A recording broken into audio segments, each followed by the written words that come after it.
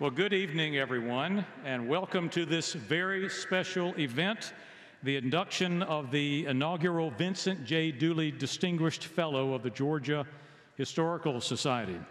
My name is Todd Groce, and I have the honor of serving as the president of the Georgia Historical Society, and it is my distinct pleasure to welcome all of you to this evening's ceremony.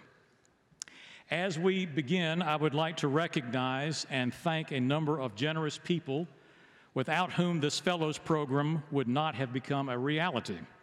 First, I want to recognize the members of the board of the Georgia Historical Society's Board of Curators who have joined us this evening Ellen Bolch, Dolly Chisholm, and Errol Davis. Would ask you please give them a round of applause.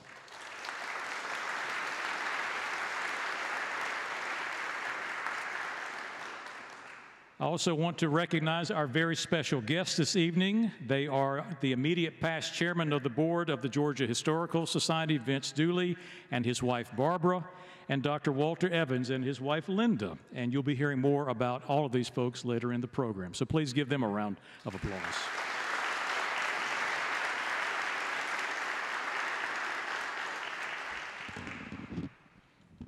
In order to establish the Dooley Fellowship Program, the Georgia Historical Society raised over $1.2 million in endowment funds. The campaign was led by Jim Blanchard of Columbus, Billy Espy of Atlanta, and Wyck Knox of Augusta. On behalf of the Georgia Historical Society, I want to express my deep appreciation to them and all of the donors that are listed in your program book. You can find their names in there, including our lead sponsor, Delta Airlines, Delta Airlines donated $100,000 towards this worthy cause. The selfless commitment of these donors to history education is exemplary, and I ask that you please join me in thanking all of them with a hearty round of applause.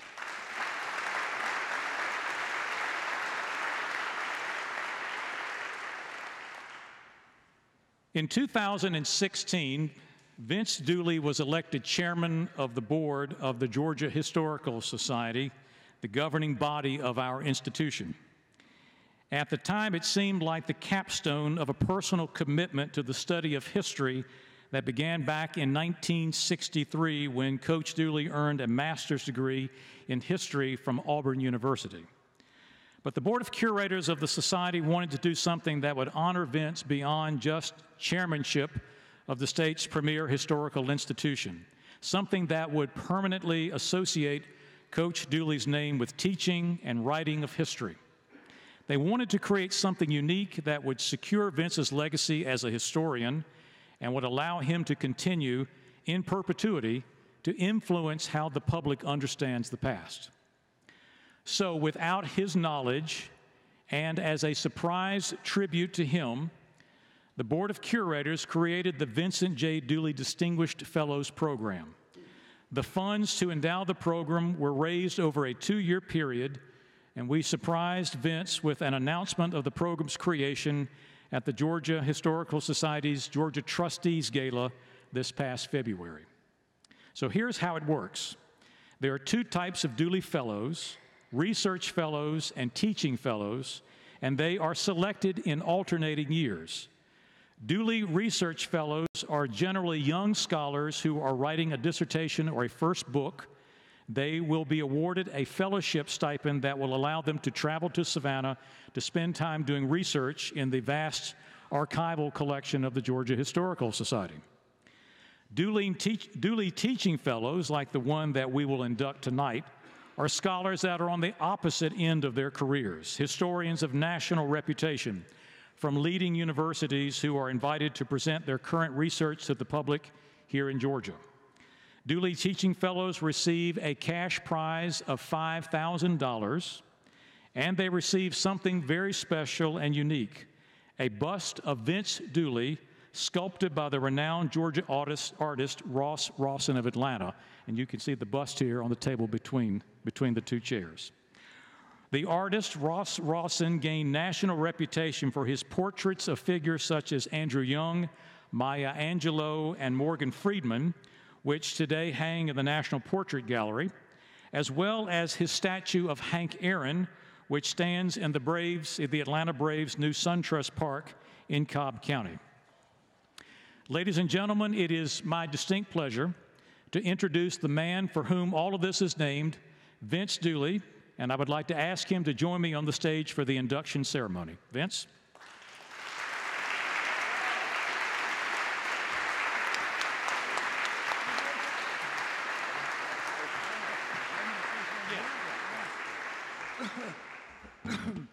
Well, thank you, um, and thanks for coming this evening. Uh, the uh, Georgia Historical Society uh, has reached a point where it is uh, among the very best, and we think the best in all of all of the United States of America.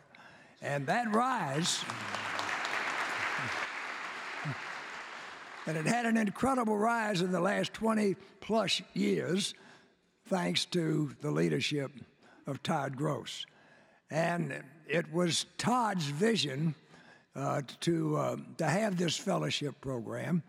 Uh, as he mentioned, uh, I knew nothing about it. It was done uh, at the end of the annual gala that's held here. And it was a wonderful gala. And it was over. And I said, Boy, it's been great, but it's time to go home, go to bed.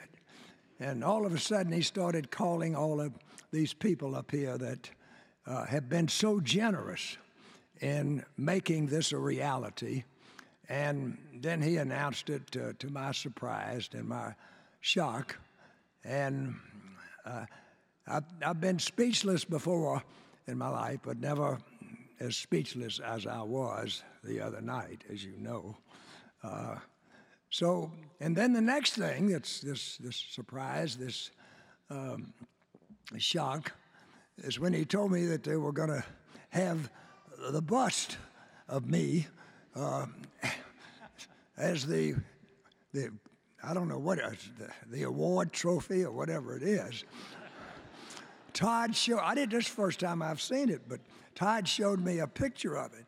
And this guy, Rossin, is among the best. He did Hank Aaron, so I got all excited. But, but when I saw it, the only thing that's wrong with it is that it looks like me. Right? but I'm proud of it, and uh, I can't uh, thank you enough, Todd. I can't thank uh, all of the people that uh, that was responsible for making it happen. And then to uh, on this very special night, uh, Dr. Blight, who um, is a distinguished professor, has done incredible work.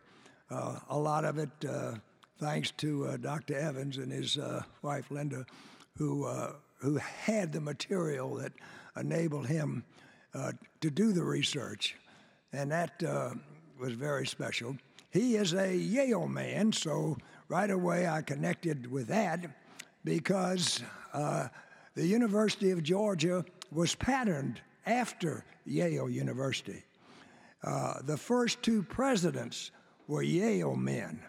And also, the first two buildings were patterned after Old College and New College uh, at Yale University. And besides that, when we dedicated the stadium, the first game was to bring this great Yale team down uh, to Athens, uh, and we played them uh, in Sanford Stadium in 1929. And um, they had a uh, they had a running back named Albie Booth, who was a little fella but one of the great players. And they came down by train, and they would stop periodically, and crowds would come because Yale really had an incredible football team back in those days. But we had a fella named Catfish Smith, and uh, Catfish Smith scored all the points that enabled us to kick Yale's rear and send them back home.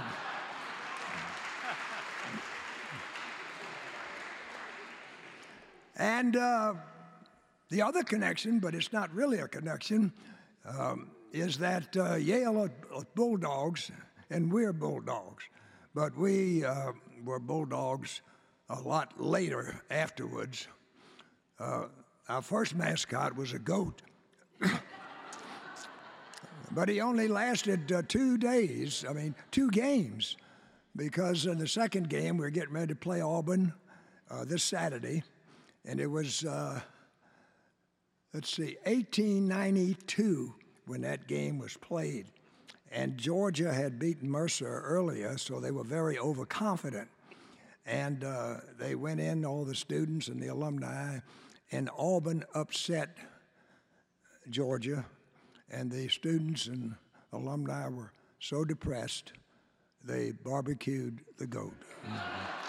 And, yeah, it was, it, was, it was Georgia's first tailgate, as a matter of fact.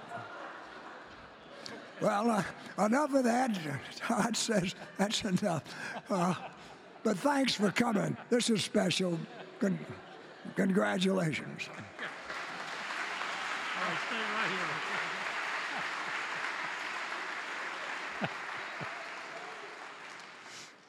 Thank you, Vince. Well, it's now my honor, along with Coach Dooley, to induct the inaugural Vincent J. Dooley Distinguished Fellow, Dr. David W. Blight.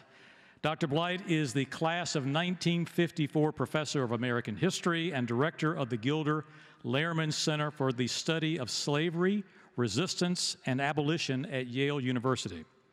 He is the author or editor of 17 books, including his monumental and groundbreaking study, Race and Reunion, which completely changed how we understand the reunification of the nation after the Civil War. But it is not for his extensive teaching at Yale and his impressive academic achievement that he is being recognized tonight. He is also being recognized for his service to the Georgia Historical Society and through us, the people of Georgia and the nation. We first met David almost 15 years ago when he came to Savannah in January 2004 to participate in a federally funded Teaching American History program for Chatham County public school teachers. He returned to Savannah in 2006 to participate in another Teaching American History program. In 2008, he came to Atlanta to the studios of Georgia Public Broadcasting to participate in a Georgia Historical Society Profiles in Leadership program on the Lincoln Bicentennial. In 2010, he spent two weeks with us as a visiting faculty for our National Endowment for the Humanities funded summer Institute for University and College Faculty, which focused on the Civil War 150th anniversary. And in 2017, he was the keynote speaker for our National Endowment funded Summer Institute for University and College Faculty, which focused on how we as a nation remember the past and memorialize history in public places. In all, Dr. Blight has helped the Georgia Historical Society train over 100 teachers ranging from K through 12 teachers right here in Georgia to university faculty from over 30 states in the Union. His designation as the first Dooley distinguished fellow not only formalizes his relationship with the Georgia Historical Society, it also elevates this new program to the highest level of prestige, helping us to establish the Dooley Fellows as one of the premier academic recognitions in the nation. After his induction, Dr. Blight will join Georgia Historical Society senior historian Dr. Stan Deaton in a conversation about his latest book, Frederick Douglass, Prophet of Freedom. Ladies and gentlemen, please join me in welcoming to the podium the Vincent J. Dooley Distinguished Fellow of the Georgia Historical Society for the year 2018, Dr. David W. Blight.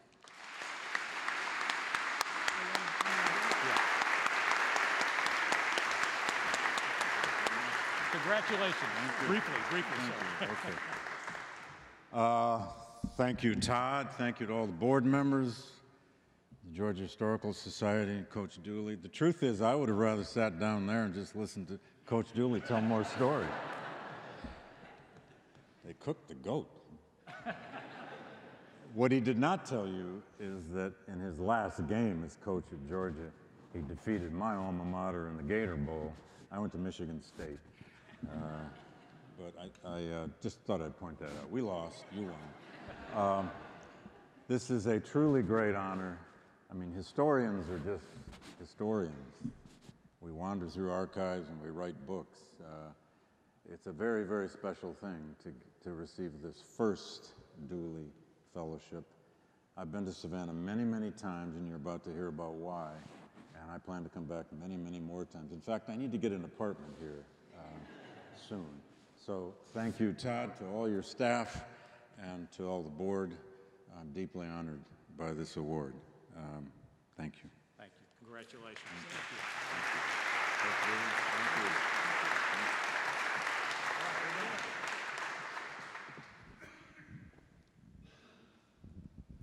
Now we'll talk some history, Hi, David. right? Okay. Yeah, absolutely. Good evening.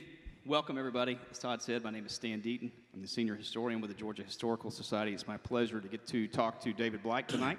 So we'll get right to it. Um, Frederick Douglass does not have a Georgia connection, but your book has a very deep Savannah connection. I would like for you to tell the audience about uh, your meeting that changed the uh, directory of your professional Yes. life and what brings you here tonight. Well, thank you, Stan. Um, I've told this story many, many times. I'm on a book tour now that's been going on for weeks. And I've told the Walter and Linda, Linda Evans story many, many places, but never have I been allowed to say it here. So this is very special. Um, and what I learned today was March of 2006. never trust your memory because I thought it was 2008. I've been telling people it was 10 years ago, it was 12 years ago. I came to Savannah at the invitation of Stan and Todd to give a talk to local middle school and high school teachers about Frederick Douglass's narrative, his first autobiography, which I've done many times. And when I arrived, the way I remember it was Stan or Todd said, There's a local gentleman here who's a collector. He'd like to go to lunch with us. And I said, Fine, you know, that's, that's good. And at lunch, I met this extraordinary man, Walter Evans, who then, to make a long story short, took me over to his house on Jones Street, got out on his dining room table at least portions of his Frederick Douglass collection. Now, Walter knew that I was a Douglass scholar because I wrote a first book on Douglass in graduate school decades ago. And that day, I didn't decide to write this biography that day because I was frankly rather traumatized by the extent of the collection. Uh, it took me a while uh, to make up my mind that I really wanted to take this on. I had no intention of writing a new full life of Frederick Douglass to take on this very complicated, long life of this great American until I encountered this collection and within a year or so, I committed to doing that book. And I have been back to Savannah. I've lost count many, many times. I've spent four or five spring breaks here. I've spent many other weeks. Uh, I've lived in numerous B&Bs and hotels over on MLK Boulevard. And I've spent endless days doing research in about as special a place as I can ever imagine, which is on Lyndon Walters' dining room table. Uh, it's it's it's a beautiful archive, I must tell you. Uh, it's by private appointment only. there are now many other Douglass scholars who've come to town, uh, many at my recommendation. Uh, they've been through Walter's initiation, and uh, they've been allowed to use the collection. The collection is extraordinary. We could say a few more things about that, but had I not encountered uh, Walter and Linda and that collection, I never would have written this book. And those of you who have bought it or will read it or have been reading it, just glance in the footnotes, you'll find Evans' collection hundreds of times. Um, and I must say, too, uh, Walter and Linda have become dear friends in a host of ways, uh, and the book is indeed dedicated to them.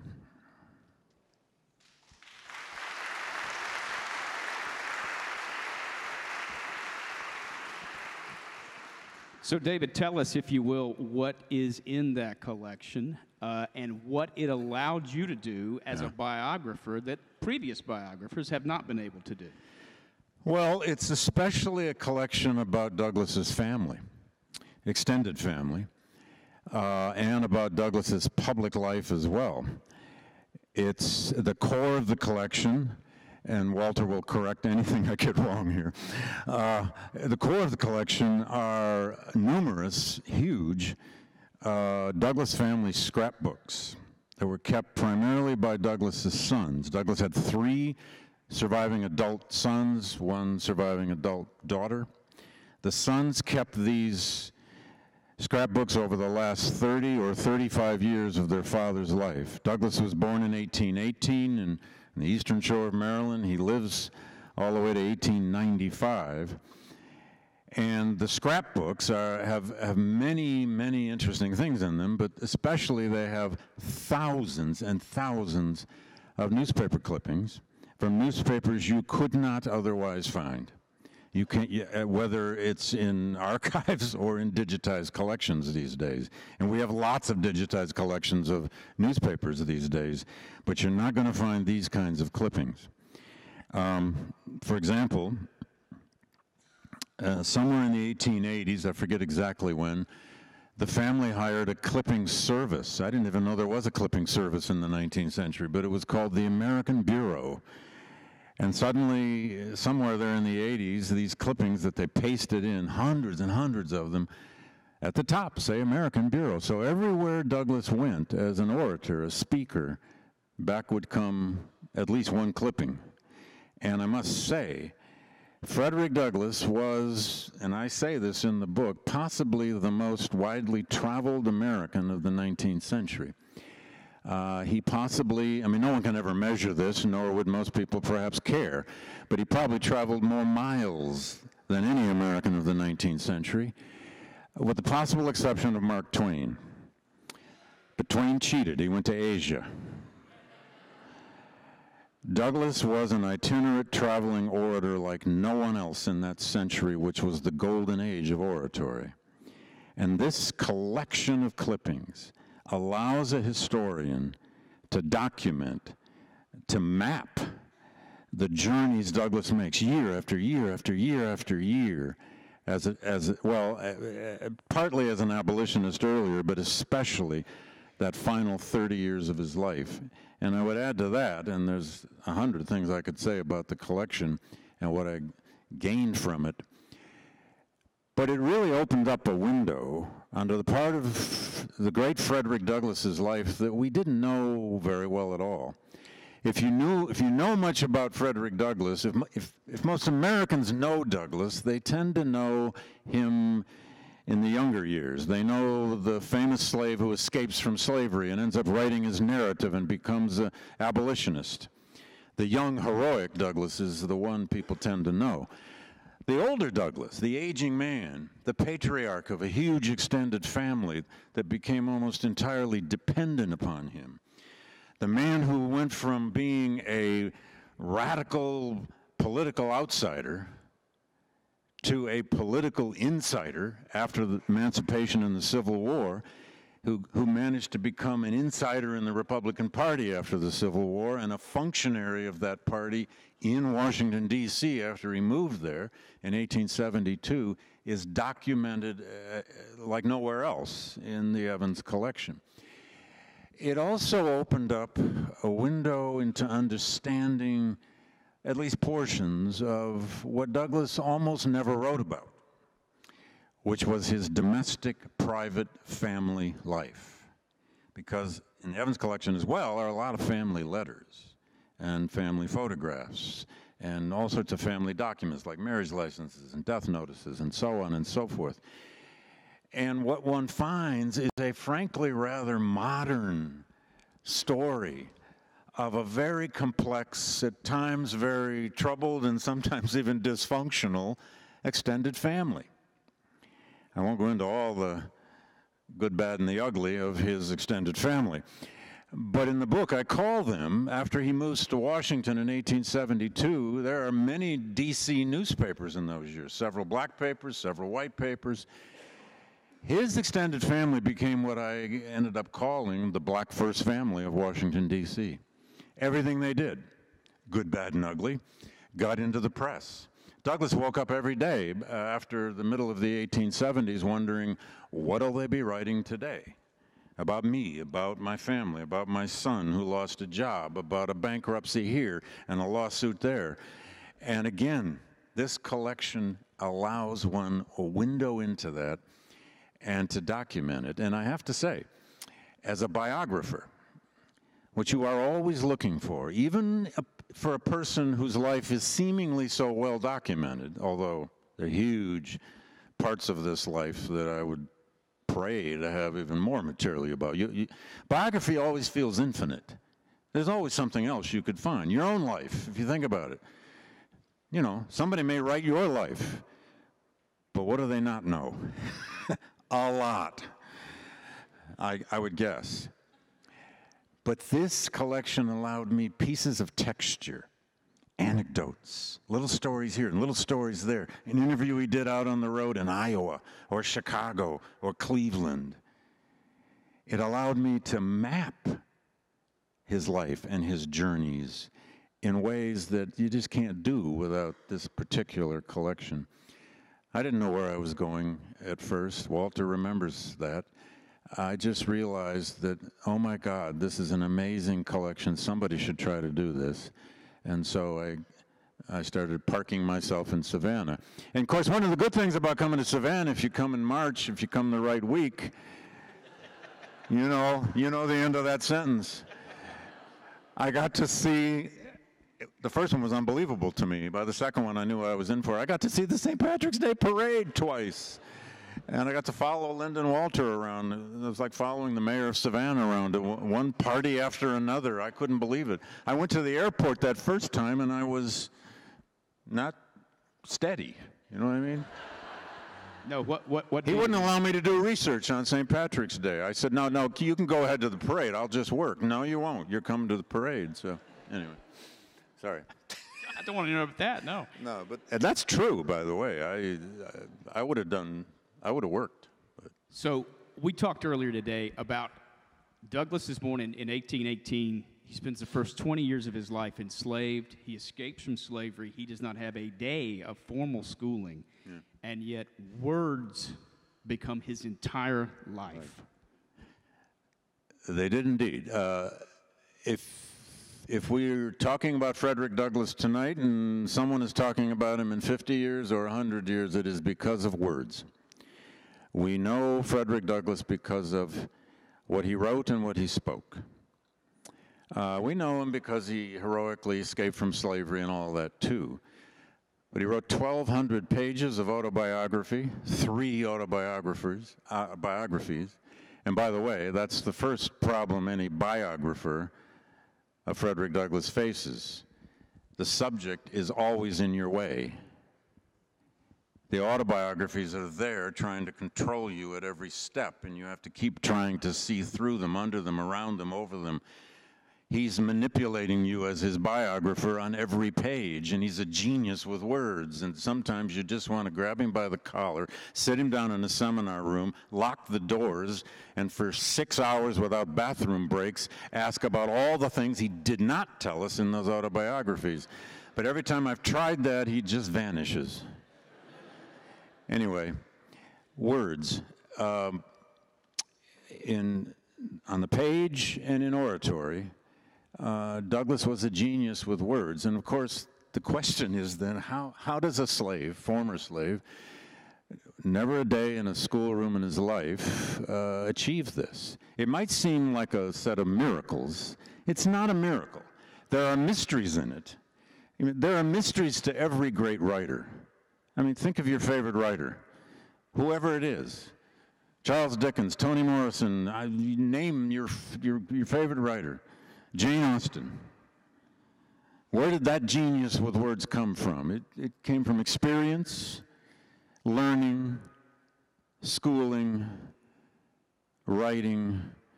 It came from life. A writer writes about life. In this case, and I'll be brief with this, Douglass encountered words and language when he was only a child. He had the great good fortune of being taught his alphabet and letters by his mistress, Sophia Auld, in Baltimore when he was seven, eight, and maybe nine years old, until her husband, Hugh Auld, forced her to stop teaching him. because he weren't supposed to teach a slave boy to read. As Douglass remembered the episode, he remembered Hugh Auld walking into the room, and here's Sophia, who to Douglass had become like a mother figure, and like he called her an angelic figure, because she taught him and read with him every day, and the kid loved words and language. Hugh Auld comes in and says, "You teach that kid to read, and he's going to want to write." And Douglass later, always the ironist, said, That was the first anti slavery speech I ever heard. If these people think words and language are so important, then I'm, I'm, i need to get some more of that. And he just fell in love with words. Uh, and in the streets of Baltimore, when he's nine and 10 years old, he encounters all these little white boys. And they're almost all immigrants. They're all Irish and German kids who haven't learned racism sufficiently yet. And they befriend him. But they all are carrying a little book with them called the Columbian Orator. This magical little book, the first possession really Douglass ever owned. And one of only two possessions he would carry out of slavery with him. The Columbian Orator was published, assembled, and published by a New England uh, schoolmaster named Caleb Bingham in, eight, in 1890, I'm sorry, 1797. Uh, I put a new edition of it back in print at its 200th anniversary in 1997. But that's an amazing book. Uh, it's, it's a collection of lots of oratory from both the classical era, the Greeks and the Romans, but also especially from the Enlightenment era, British and American orators. But even more importantly for little Frederick, the first 20 pages is, is, is like a manual of oratory. It's a how to. It has explanations about how you learn to modulate your voice as an orator, how you begin to, you go from quiet to louder, and how you build to to crescendos. And it has it has explanations of how to use your shoulders and your neck and your arms the physicality of oratory. And then it has moral lessons which I think Bingham was getting basically from Aristotle but it's the idea that an orator a speaker should aim for a moral point of view that he needs to make penetration to the heart of his audience with a moral argument well Douglass didn't get all that right away, but he managed to buy his own copy when he was either 11 or 12 from a bookstore in Fells Point in Baltimore. And that book became magic for him. He started assembling other, you know, newspapers and magazines or whatever he could get, and he, he slept in a loft at the Auld's house. And then he's sent back to the Eastern Shore. He becomes a field hand. He is brutalized and whipped savagely by one of the people he was hired out to, and then had the great good luck of his owner, Thomas Auld, eventually sending him back to Baltimore when he was about 17. And the fact that Douglass lived nearly half of his 20 years as a slave in a city like Baltimore, which was a big ocean port, a big window on the world. It was a big shipbuilding port. And, and he was always watching the maritime world come into that port. And in that city, he was uh, one of about 3,000 slaves. A total population in the city, uh, the year he escaped in 1838, of about 130,000. But there were 17,000 free blacks in Baltimore. By far, the largest part of the black community of that city were free. They had virtually no rights. Their lives were circumscribed, uh, but they built a community. They had churches. They had their own underground economy. They had all kinds of. They had debating societies. He was he was in a debating society when he was 17. He went to four different churches uh, two black and two white, and he even told he gives us the names of all the preachers, and he ranks them the ones he liked and the ones he didn't. The same thing we do with churches. Uh, oops. But he was a Methodist. He was. He was actually, if if he had a denomination, he was a Methodist. At any rate, language wasn't just the thing he got from his mistress, but that really matters. It wasn't just the thing he got out of this Columbian book, what that really matters, but he started hearing language and sermons in these churches. And then he met an old black preacher when he was probably about 13 or 14. He doesn't tell us exactly how long this relationship went on. There's an old black preacher in Baltimore whose name was uh, Charles Lawson. He called him alternately uh, Uncle Lawson or Father Lawson. And Father Lawson was a drayman by day, which means he drove a cart for whatever coins he could make. But he loved the Bible. Lawson was a fanatic about, lear- about telling and learning more about the, the, the stories of the Bible, especially the Old Testament. And when he found this kid, this 13 year old who could read, he sat him down, and Douglass, it appears, was mesmerized by this old man. And, he, and Douglass would read aloud to Lawson for hours and hours and hours from the Bible. Stories from the Bible. So, long before Douglass escapes from slavery at age 20, he has been hearing language in his head and reading it. And the language he learns that echoes in his head is the King James Version, it's the King James cadences of the Bible. Such that when he escapes from slavery and he and his wife Anna uh, after they made it to New York City, immediately go up to New Bedford, Massachusetts. And I met somebody signing here earlier who's from New Bedford. Here's to New Bedford. It was a, it was a great enclave of, of fugitive slaves. It was, it was the great whaling port. It was the American whaling port. The first great American industry was whaling, not cotton. Cotton surpassed it. But in New Bedford, he spends three years. He worked all kinds of odd jobs. He was a carpenter here, and he, he carried whale oil casks. He got jobs down on the docks. He worked in a, in a, in a forge where, the, where he worked the bellows. You know, you have to keep busting that thing up and down, up and down. And he tells us he would put on the post next to the bellows a copy of The Liberator. William Lloyd Garrison's anti slavery newspaper. So he could work the bellows with one arm and read the newspaper with the other. But by at the age of about 21, he started going to the local AME uh, Zion church, Little Zion, they called it, the black church in New Bedford, a fugitive slave church. And clearly, we don't know exactly when and how, but somebody there realized this kid could preach. And they, they got him in the pulpit. And by 1839 and 1840, he's an occasional preacher at the AME church. And he learned very quickly the, the, the homiletics of whatever the text was that week, he preached on it.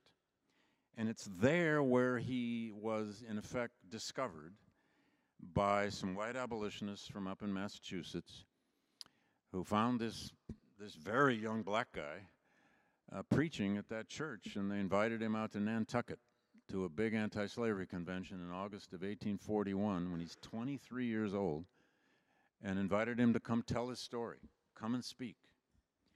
Now, he did not leave slavery this well formed orator, and certainly not yet a writer. He could write, for sure. He's got a lot to learn yet, and he's going to get help. He's not a pure genius that just burst, you know, out of some shell. Nobody is. He learned oratory by practicing it over and over, and he learned it by hearing it. And he learned writing by really practicing even more. But even at that tender young age, Douglass was discovering that words could be a weapon, and it would become the only weapon he ever really had.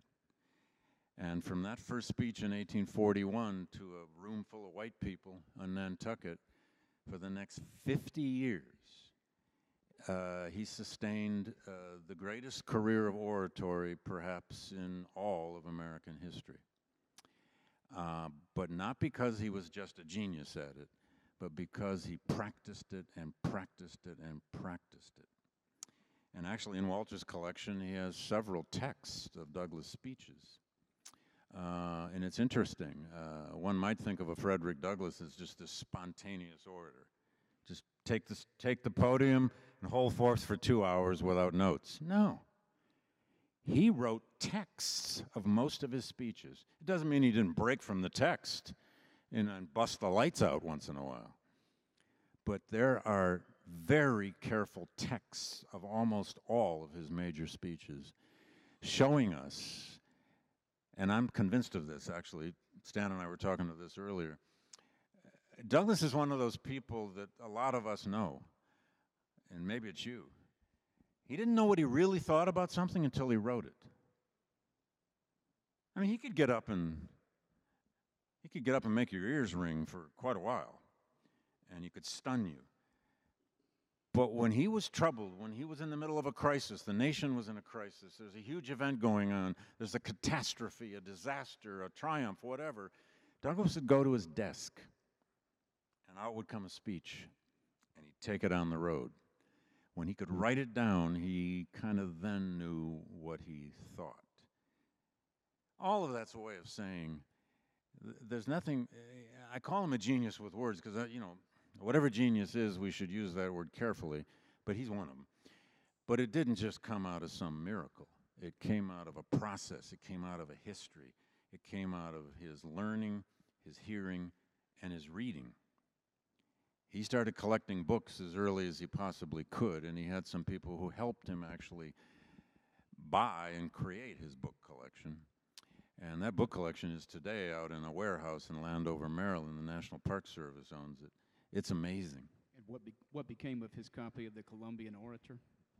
Oh, well, I skipped over that, didn't I? Uh, when Douglass escaped from slavery in August of 1838, dressed in a sailor's suit with a big brimmed hat and a black cravat, and uh, borrowed sailor's maritime papers of an old black sailor he happened to know.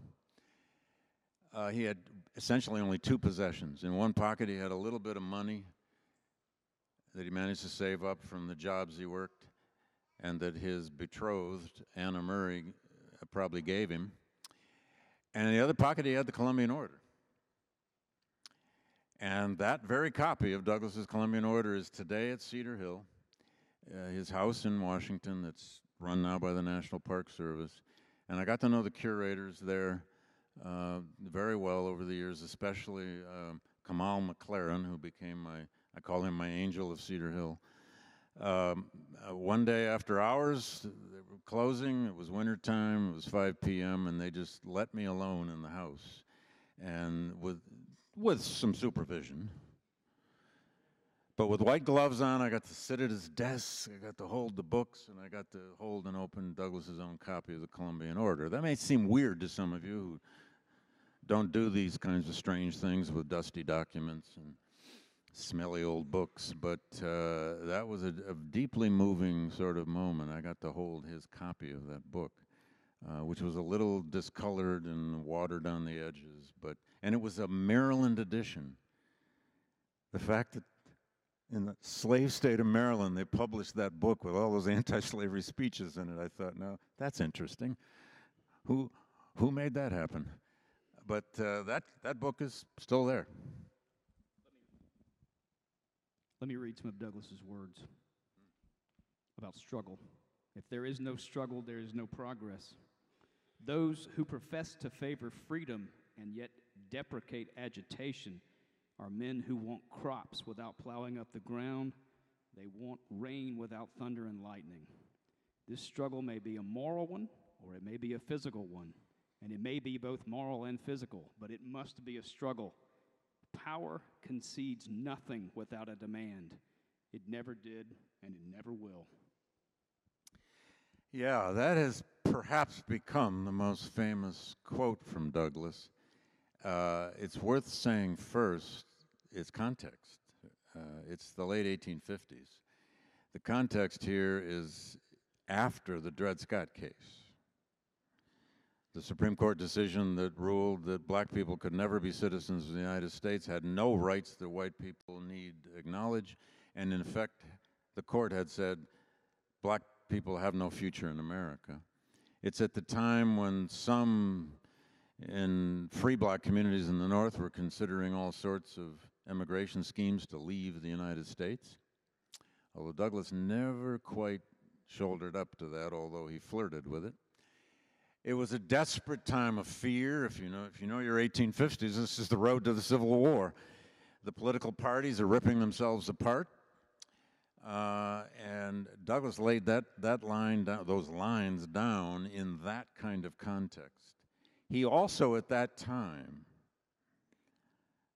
uh, has undergone a transformation ideologically. He's transformed by then into a thoroughgoing political abolitionist. That is, he's no longer merely a moralist, a follower of William Lloyd Garrison, or what they called a moral suasionist.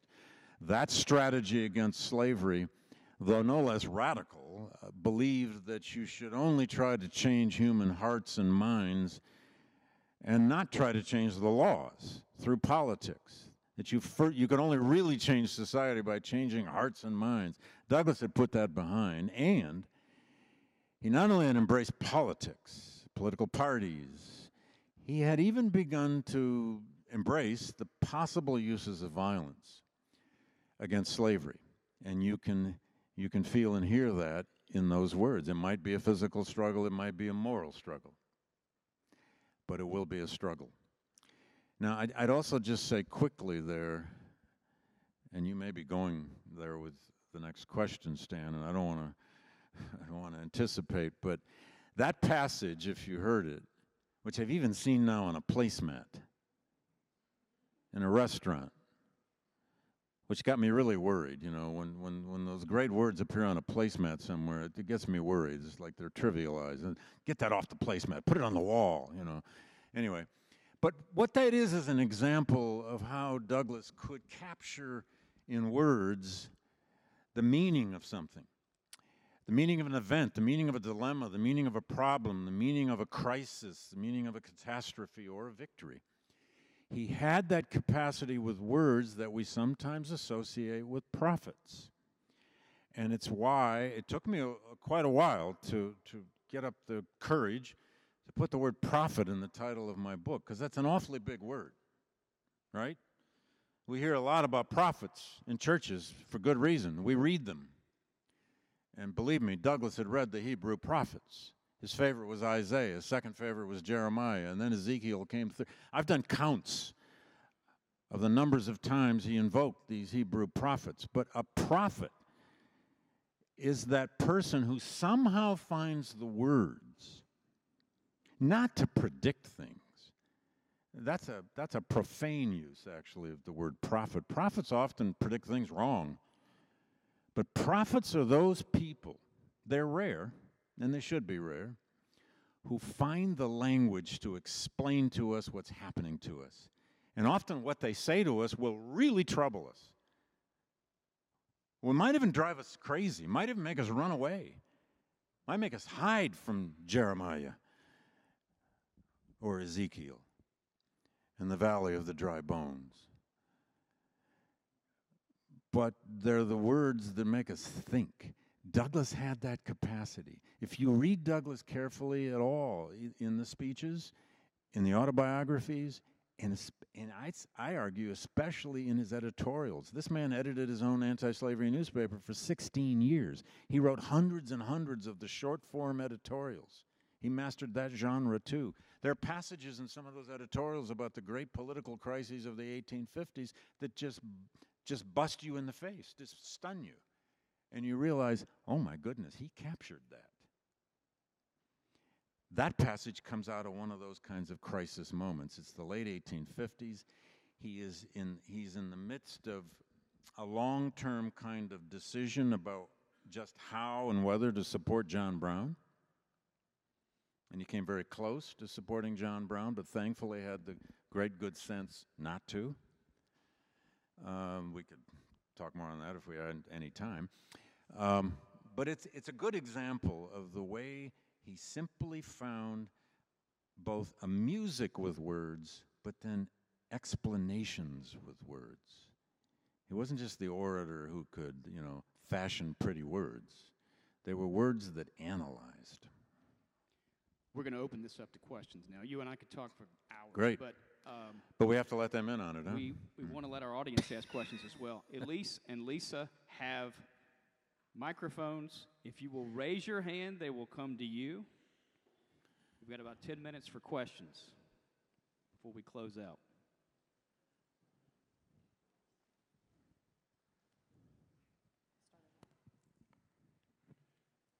Could you talk about the relationship between Lincoln and Douglass?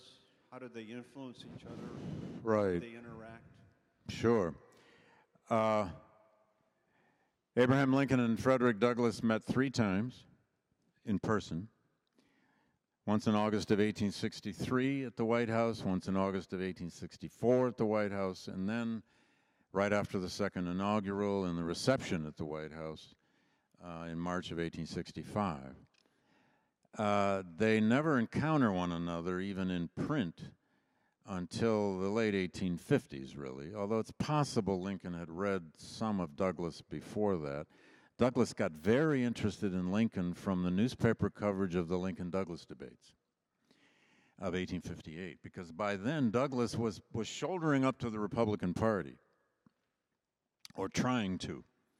They were never radical enough for him, but they very much excited him. Because that Republican Party, though it, it seemed moderate, compared to radical abolitionists, it was opposed to the expansion of slavery, it was opposed to the future of slavery, and most important, it really threatened Southerners. And if white Southerners were threatened by this Republican Party, Douglass saw it as a good. The enemy of my enemy is my friend. So he began to, he was very interested in this guy Lincoln after those Lincoln Douglas debates. And then in 1860, when Lincoln gets the nomination, um, Douglass supported Lincoln in New York State, uh, but only kind of modestly. He wasn't sure yet about the Republican Party. He just didn't know whether to trust their anti slavery sensibilities. But most important was this relationship they forged. It wasn't a deep friendship by any means, and there are people who have tried to imply that. There are only three meetings of a total of probably an hour and a half. The first one was Douglass in August of 63. Douglass just went to Washington to protest the discriminations, the unequal pay, the brutal discriminations against black soldiers in the Union Army because he's been out on the on the stump recruiting black soldiers ever since spring and all summer for the 54th Massachusetts Regiment and for other regiments, only to discover that they're all serving under brutal conditions of discrimination. He went to Washington without any appointment. He just got in line at the White House. And if you know your Lincoln history at all, this was a common thing. People just lined up to talk to the president. He got in line, he put his card ahead, and lo and behold, the president wrote or sent somebody out and said, Send him in. That's the first time they met. Douglass left that day after no more than probably a half hour meeting, having laid his protest at the feet of the president. And he, they had what, you know, the diplomats call a good exchange of ideas. Lincoln made no promises, but he did walk out of there saying that he'd never met a white man who treated him so honestly. I think Douglass was frankly awed by Lincoln that first time he met him. He saw a certain authenticity in Lincoln. The second time they meet, and this is the important one, is a year later. The condition of the war is very different. I don't have time to go into all that.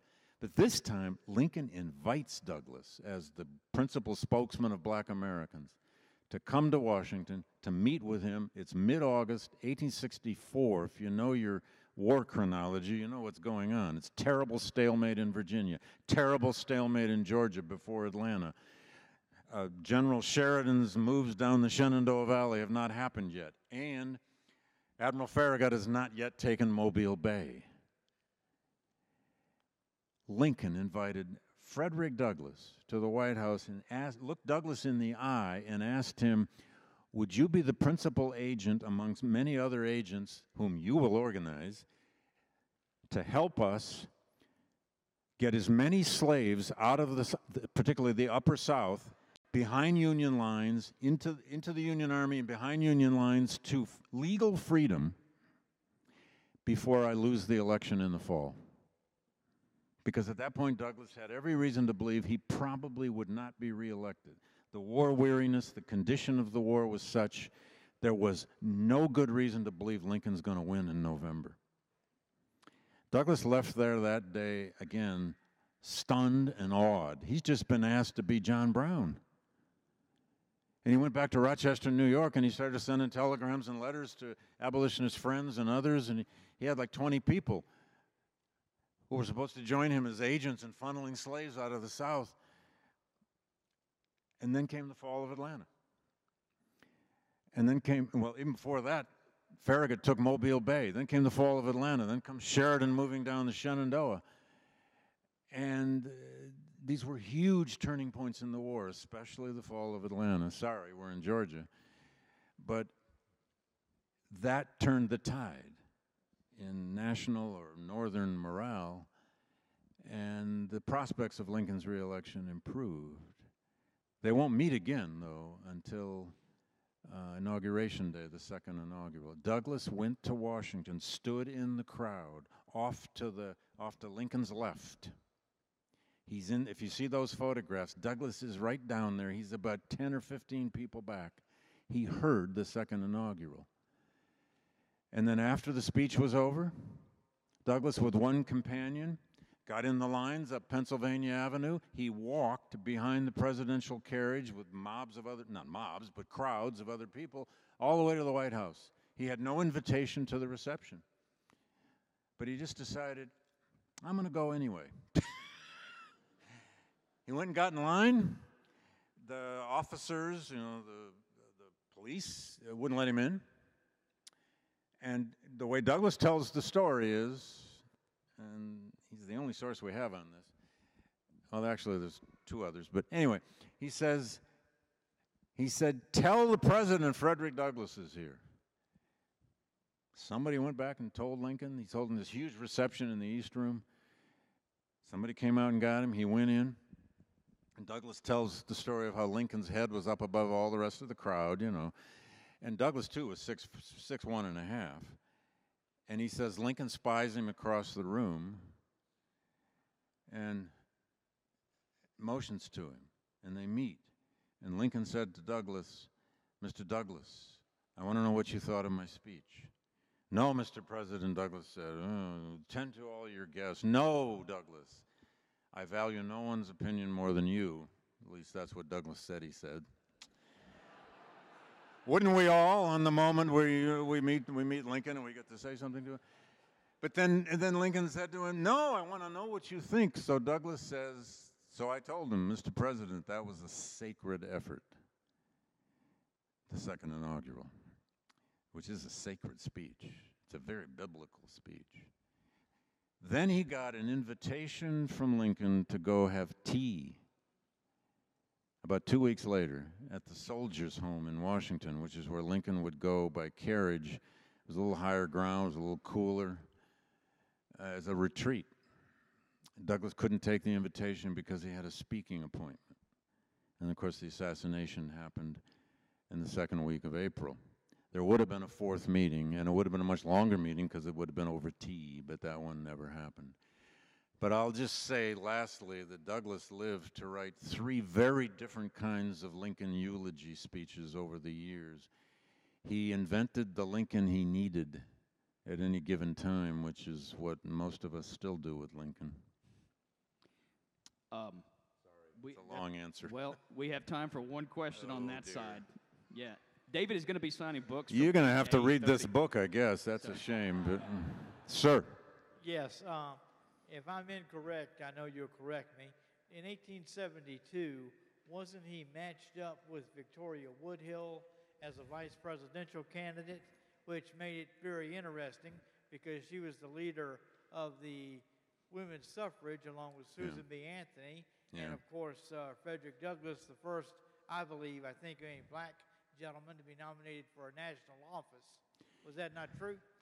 Yes, it's true. He was technically nominated to run as vice president with with Victoria Woodhull in 1872, but he, to be quite honest, he barely acknowledged it, and he did not campaign. And he was at that time in the midst of a very difficult, bitter breakup with Susan Anthony and Elizabeth Cady Stanton, the two principal leaders of women's suffrage, because of the nature of the 15th Amendment. We could go into that uh, if we wanted to. But yes, it's true. He was nominated to be uh, vice president on that ticket, but the ticket amounted to really little at all, and he he hardly even wrote about it in his autobiography. It wasn't something he stressed. We like to stress that today as a kind of almost wishful thinking. Why didn't Douglass become vice president? Why didn't Douglass become a senator? Why didn't he do this and why couldn't he have done that? Uh, because it was the 19th century.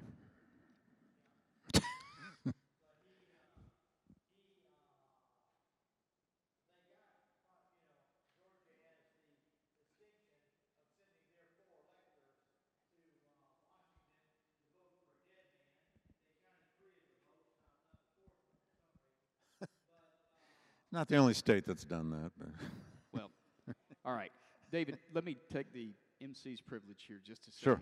Um, this book is 764 pages. Oh, would you have to tell them that? It's, it's a, but you can work 30 out with it. It- it- 31 it- chapters, You can. 888 pages total, and I've Uh-huh. read every word of He it. He has. It's amazing. And- He's really read it. it. It is a, truly, it is a stunning, towering achievement of a historian who's at the top of his game. There will be awards coming for this book. One next April, I think, which shall go unnamed so that I don't jinx you. But uh, Don't don't jinx that. I don't know what you're talking about. Don't talk about that. starts with a P.